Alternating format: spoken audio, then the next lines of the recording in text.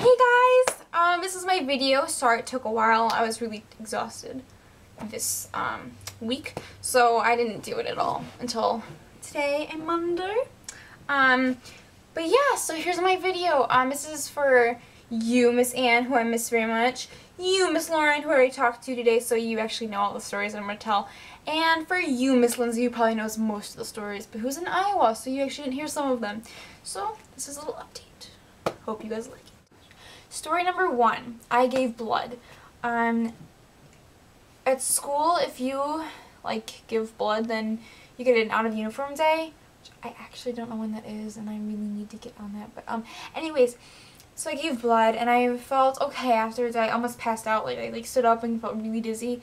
I had to lay down, and they called my mom, and was all like, she's fine, but she's really dizzy. I don't really wanted to get sued or something, but anyways, it was fine. And um, I was really tired like this whole week. It was really weird. Like I, I had two cups of coffee even one day and I was still more tired than like on a regular day when I just have one cup of coffee. So that was weird. Um, but yeah, I gave blood. So I felt kind of proud of myself actually.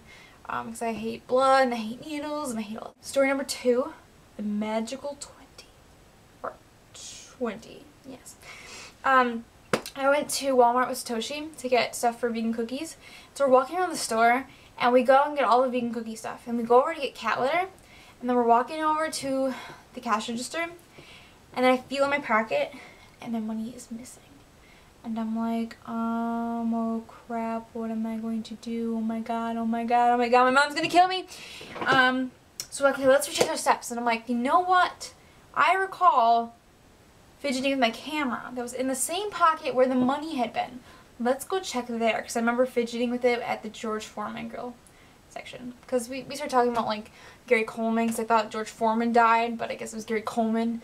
But yeah. Okay, anyways. So then um, we go back over there and there's the freaking 20. Like we're at Walmart at 10 o'clock at night. Actually beyond 10 o'clock. So almost like 10.30. And we're at Walmart and nobody stole a $20 bill sitting in the middle of the freaking aisle. Taken the thing. Like, come on. Like, it's not like you can turn it in. And it's not like, you know, if you did lose it, you'd be able to be like, Hi, person at Walmart. I lost $20. Have you found it? Hi, Walmart customer who I trust so much. You're missing a $20? You mean this $20? Which is clearly marked by your name. So I know you're not lying to me and just trying to get a $20 bill to buy your drugs. Sounds good. Here's your 20. Thanks, person, for being so trusting not my 20. I was so surprised and I was like, this is a magical 20. So that's story of the magical $20. Story number three, The Good Samaritan. This is a really short story, but um, my mom and I went to get Starbucks and um, the person in front of us paid for my coffee. And I was like, that is really nice. And they made my day. Story number four, my boots.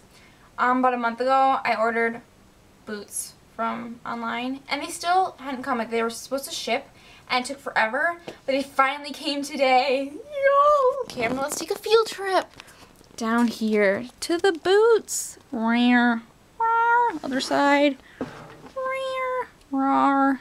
But I believe the transaction went a little bit like this. I really want some cowboy boots. Let's look online for some. These are cute. Let's order them. Oh, it's just an innocent customer who wants some boots that are completely out of stock for about a month. But let's not tell her that until she's already purchased them. Oh my gosh! An email from the website that I bought the boots off of. Open. They're not supposed to come from a month. Just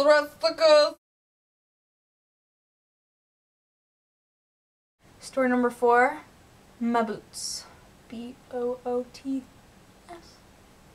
That's kind of cool. Boot for. Okay, that was really stupid. They were supposed to ship and I was... Oh my god. Oh my god. Oh my god. Oh my god. Oh my god. Oh my god. Oh my god. Oh my god. Oh my god. It fell off. Oh my god. It fell off. Oh my god. It fell off. Oh my god. It fell off. Oh, my camera. Oh, you poor baby. Okay, I guess this isn't a very good system of putting it on there.